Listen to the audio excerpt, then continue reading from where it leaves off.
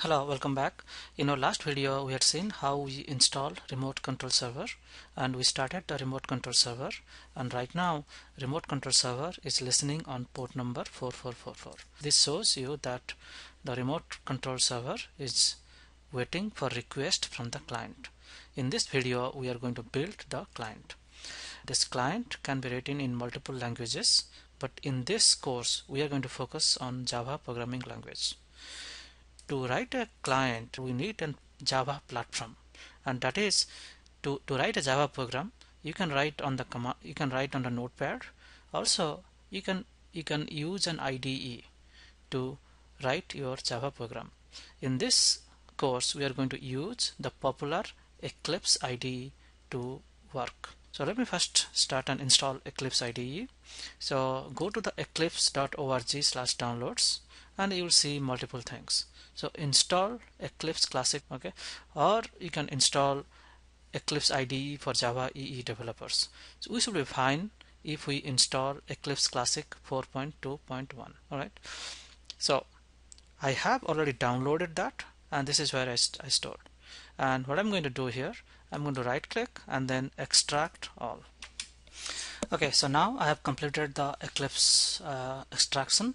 And if I go to Eclipse run the Eclipse executable and you should see the Eclipse IDE and it will ask you about some workspace. So basically what I'm going to do I'm going to give C colon and then I do say and this is your Eclipse to IDE and what you can do you can promptly close this thing. So the first thing I'm going to do I'm going to file new do a Java project. And let's say my Java project name is test. Okay. And the next finish. So this is the project and this is the source. And this project is located on your your C colon selenium demo test. Alright. And then what I'm going to do I'm going to create a new Java class. Let's say that class name is hello. Okay. So this is your hello.java just to make sure that if things are working fine or not what I'm going to do I'm going to just write a simple method here. Say public static void main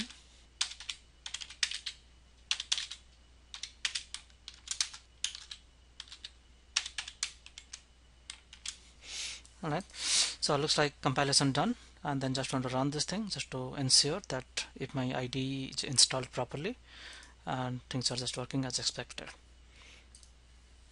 It looks like I'm getting hello world so everything is okay. So what what we're going to do here is that we want to write that client. Like instead of driving to this IDE we want to write equivalent Java program for whatever you are seeing here. So essentially this Eclipse whatever the client program you are going to write that client program is going to give commands to the remote control server which is right now listening. And then that remote control server is going to launch this browser and then run this command one after another. That is our goal. Okay? To do that what we have IDE has a very nice tool called export test case as. If you go to export test case as, you have different combinations. We'll explain you what these things are. So do not worry. What you just do, you just do Java JUnit 4 remote control. And I'm going to store that thing in my Selenium demo folder. And let's say that file name is flight search. Alright. So let's save it. So this is a flight search.java that we exported. Edit with notepad. So this is the equivalent java program for whatever commands that you are seeing in IDE either you run this thing using IDE or you run using this java program. The effect is same. Okay. So let's copy this thing and then let's put this thing in our class what you can do the moment you put you can see a lot of errors. You know wherever you're seeing this red cross those are essentially errors. So let's try to solve. The first thing that you notice that the class name here is flight search. And this is coming because the in the IDE the script name was flight search. However our our java class file name is hello.java so as you know this is a very fundamental thing in java that if the file name is hello.java then the class name should be also start with hello. So that's the first thing that we fix. If you click on this red cross so it looks like compiler is not able to understand from where should it find this class. These class are available in the jar file called selenium server standalone 2.25.0 you go to test project and go to the property. Here in the external library we have to add the external jar file. We have to add two jar file. One jar file for the Selenium standalone and another jar file for the JUnit. To get the JUnit jar file, go to junit.org, go to download JUnit and then download the latest version. So in the Eclipse project, I need to go to the build Java build path.